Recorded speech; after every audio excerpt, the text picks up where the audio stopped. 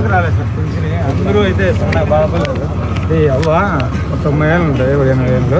ఆ అవ్వకు రాలేదు టీడీపీ వాళ్ళు మమ్మల్ని ఏమంటారంటే మీ చూడు పోయి మీది అది ఇది అని మమ్మల్ని వ్యతిరేకంగా. ఎందుకు రాదు? అదే. లే, లే, లే, మాట్లాడు. ఆ మాట అంటారు. ఎందుకు ఎందుకు రాలేదంట?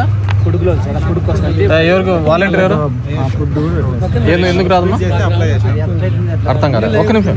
బా ఒక్క నిమిషం ఉండు. ఏం పేరు నీ పేరు? రాఘవేంద్ర దీంట్లో ఆ పార్టీ ఈ పార్టీ అని సింపుల్ చెప్పేది వాళ్ళు వాళ్ళు ఏమైనా అన్ని మన వాళ్ళలాగా పనికి మాల పని చేయలే. ఆ. ఈ ఊర్లో నాకు తెలుసు. ఎంతమందికి కండువా వేసుకుంటేనే పెన్షన్లు ఇస్తామని. కండువా ఇస్తానే పథకాలు ఇస్తారని మన ఊర్లో తెలుగుదేశం టైంలో నారాయణ స్వామి ఉంటే నిన్న చూడు మీ ప్రభుత్వం ముస్లిం ఒక్క నిమిషం ఉండు అయ్యా. పోయినసారి పది ఎకరాలకు పైన ఉంటే ఇవ్వరు. అదే. అది గుర్తుపెట్టుకో. ఆ పది ఎకరాల పైన ఉంటే వాళ్ళ కొడుకులన్నా చూసుకోవాలా ఇంకోరన్నా చూసుకోవాలా. పది ఎకరాల పైన ఉంటే మనం ఇవ్వం. మూడు వందల యూనిట్ల పైకి ఉంటే కరెంట్ ఇదే ఇంట్లో ఉద్యోగస్తుడున్నా ఇవ్వము. అర్థమవుతుందా వాడు ఏ పార్టీ అయినా కావచ్చు ఎవడైనా కావచ్చు. ఏ మన పార్టీ వాళ్ళు కూడా రాలేదా? ఆడ అడగలేదా? ఇరవై ఆరు ఎకరాలు ఉంది మళ్ళీ. వాళ్ళు మనం తీసేసినామా తీసేలే కదా. మళ్ళీ? వాళ్ళు అట్లన్నీ వాళ్ళేం చాచా పనులు చేసినారా? ఊర్లలో దొడ్లని చూసినా కానీ వాళ్ళకి ఎలిజిబుల్ ఉంటే ఇస్తారు లేకుంటే ఇచ్చేయలేరు వాళ్ళ పిల్లల మీద స్ప్లిట్ చేస్తే చేస్తే చేస్తారు అంతే. వాళ్ళ కొడుకులు మనమేమి ఆమె వేరే పార్టీ ఉందని ఇంకో పార్టీ ఉందని నేను తీసేలే కదా. అట్లా రేషన్ కార్డులో ఇద్దరు ఉంటారు కదా. ఇద్దరు ఉన్నప్పుడు కొడుకు నేను అడుగుతున్నా. కొడుకు ఎందుకు వస్తుంది.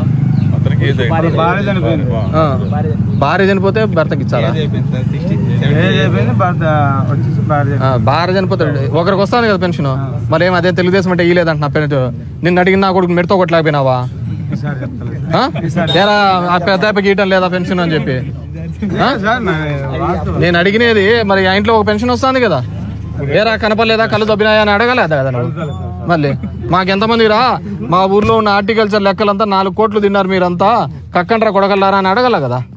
తిన్నారా లేదా? తిన్నారు సార్. మళ్ళీ? ఆ తిన్నారు. సార్. మరి నీదే తిన్నారు కదా. వాళ్ళ తమ్ముడు.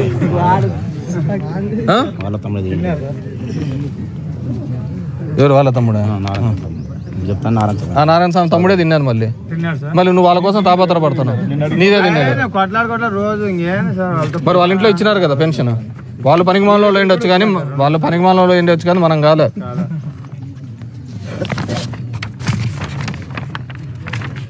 దొంగవి ఎక్కడే కానీ ఎంటర్టైన్ చేయొద్దండి. అదేవిధంగా అర్హత ఉన్న వాళ్ళు ఎవరే కానీ మిస్ కాకూడదు. క్లియర్గా చెప్తున్నాను